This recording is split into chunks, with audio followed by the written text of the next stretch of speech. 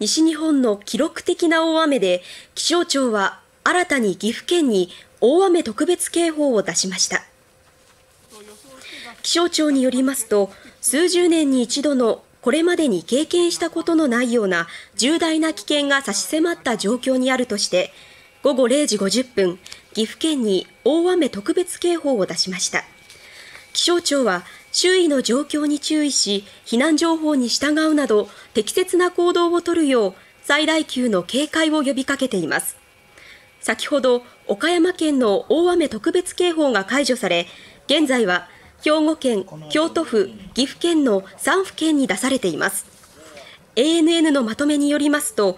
午後3時現在全国で23人が死亡しおよそ60人の安否がわからなくなっています。